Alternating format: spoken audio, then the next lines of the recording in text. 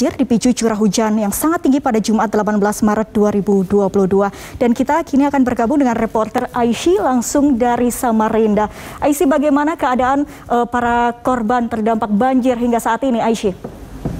Ya baik, terima kasih Silka dan pemirsa. Ya, baik terima kasih Silka dan pemirsa. Memang hujan yang terjadi selama beberapa hari terakhir mengakibatkan Kecamatan Sangata Selatan, Kabupaten Kutai Timur, Kalimantan Timur terendam banjir. Hujan yang mengakibatkan peningkatan debit air di Sungai Sangata, di mana mayoritas wilayahnya berada di bantaran sungai, mengakibatkan wilayah setempat pun terkepung oleh banjir. Menurut keterangan dari Camat Sangata Selatan, Vita Nurhasanah, bahwa saat ini terdapat sebanyak tiga wilayah yang terpantau sebagai lokasi banjir terparah, yakni Desa Sangata Selatan, Desa Pinang Raya, dan Kelurahan Singagewe. Ketinggian air juga bervariasi, pemirsa mulai dari 50 meter hingga satu setengah meter.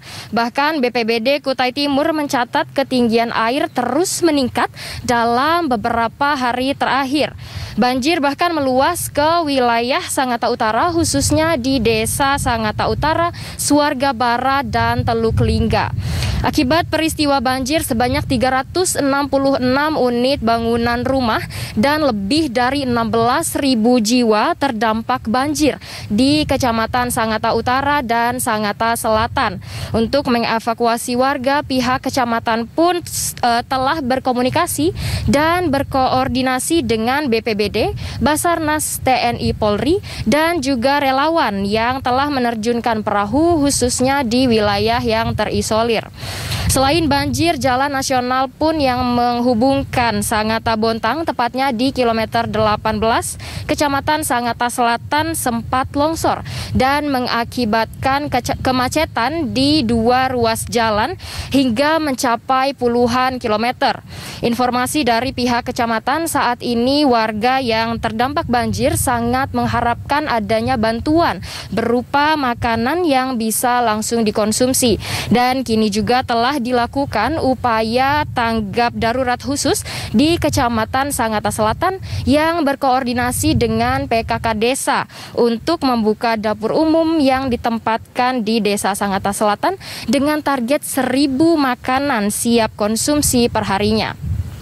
Pemirsa untuk data sementara dari BPBD Kutai Timur, warga yang mengungsi baru terdata sebanyak 200 orang.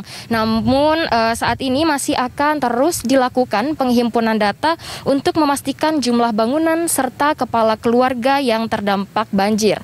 Di lokasi banjir juga sudah dikerahkan personil SAR dan dua perahu karet milik Basarnas. Ya demikian informasi dari Kalimantan Timur kembali ke Silka di studio. Iya, tanggap darurat cepat dilakukan dan terus upaya dilakukan oleh BPBD setempat dan juga masyarakat tentunya para korban terdampak banjir dan longsor ini sangat membutuhkan bantuan. Terima kasih Aishi atas laporan Anda. Selamat bertugas kembali.